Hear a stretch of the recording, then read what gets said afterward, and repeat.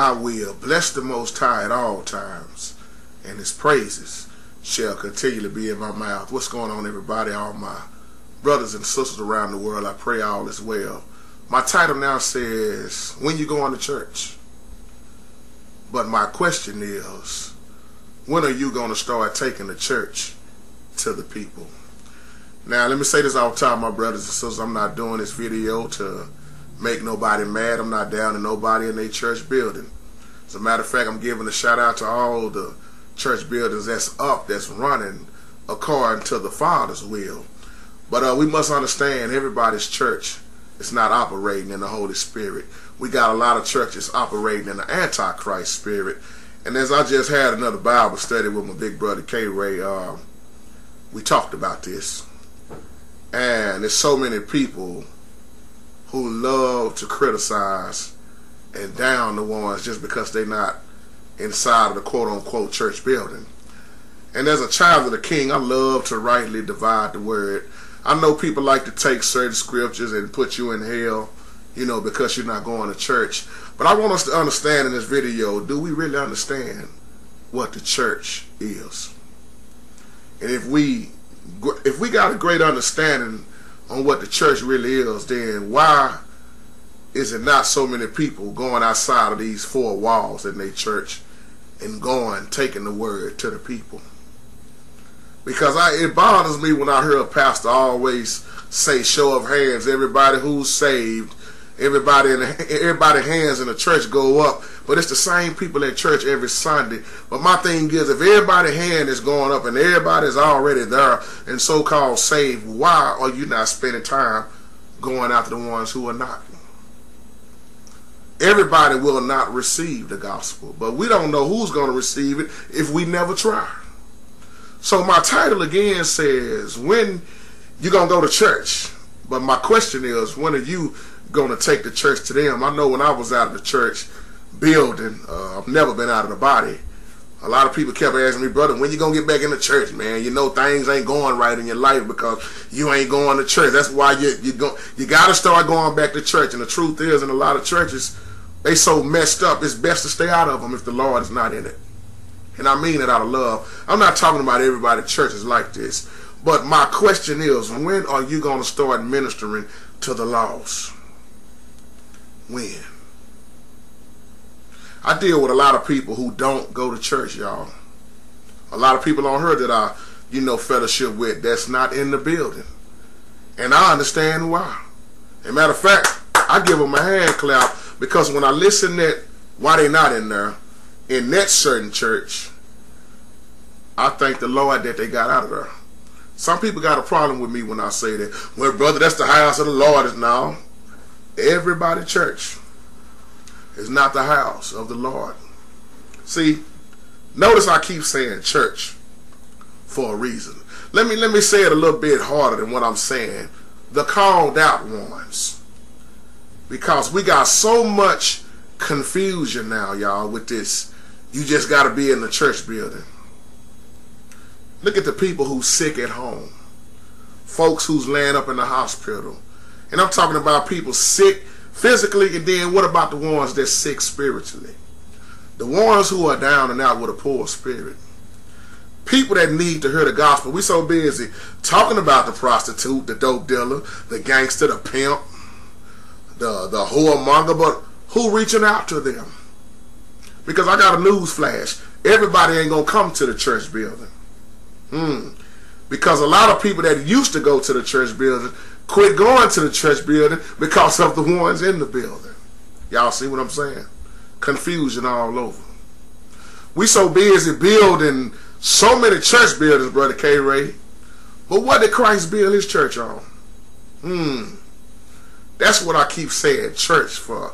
I'm talking about our Savior church. Christ, the anointed one. What did he build his church on? Hmm. For those who study, y'all know where I'm going with this video. We we keep on putting emphasis on the building, but what did Christ build his church on? Now the Bible says one one Lord, one faith, one baptism. That means one body, the body of Christ. So to the ones who's always down and the ones who don't go to church, my question to you again is when are you going to take the church to the people?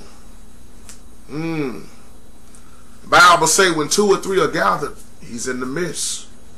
Our Father's in the midst, y'all. I see a lot of homeless people. See, you know, you know what I learned in life? If you spark up a conversation with people, then you can start talking about the word. Do you have to have a Bible and quoting scriptures left and right? No. A simple conversation. That's why I love to feed the homeless. That's why I love to talk to the, the ones that the church folks talk down on and skip over. I'm not talking about everybody church.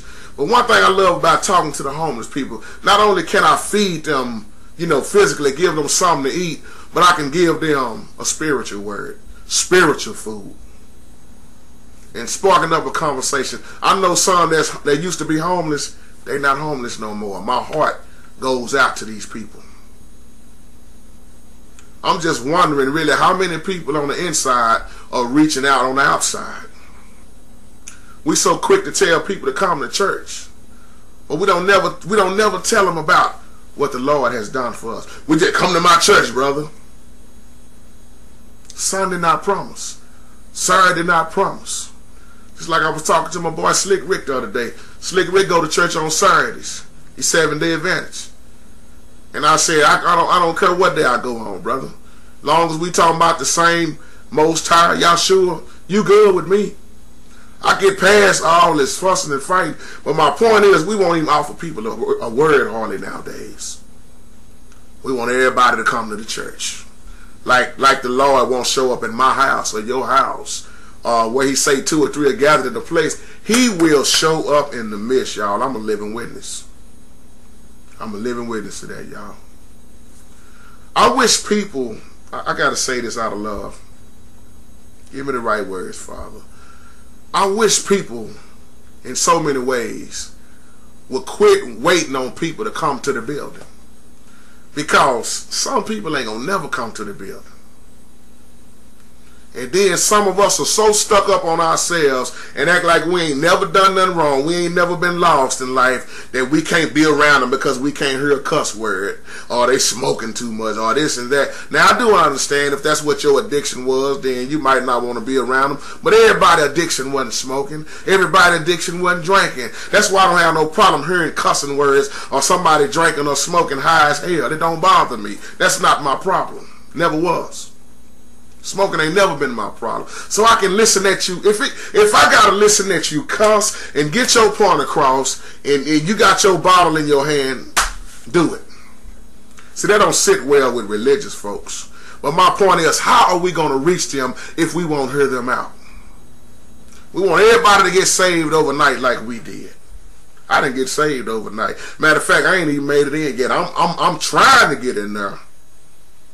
I've been delivered, but I ain't been saved yet. Somebody will catch that later on while we always talking about how saved we are. I've been saved since 1989, brother. I ain't made it in yet, y'all. That's why I want to make it in. I want you to make it in. When are we going to take the church to the people? Our Savior went after the lost, and he did it well. I said in the last video, let me say this again. If you're not careful, you can go to hell through your church. I'm being real, y'all. It's something I remember PP Drawings, my big brother, saying in one comment. He said a whole lot of people are going to hell because they should have stopped going to that messed up church they was in. That's real. That's scripture in Matthew 7. Because you got so many churches that's pretty much messing up more people than they helping. When the last time people that's been in the building really have helped somebody that's not a member of the church? And I'm not talking about Thanksgiving Day and I'm not talking about Christmas Day. I'm talking about when have we really helped somebody other than a holiday? I, I know this video kind of getting up underneath some somebody's skin, but y'all cannot speak real. Our Savior built his church and added all believers to it. And I'm not talking about a building. It's a lot of people in the church building, but not in Christ. See, the Bible, the church, the called out ones, always referred to people, group of people, believers, never a physical building.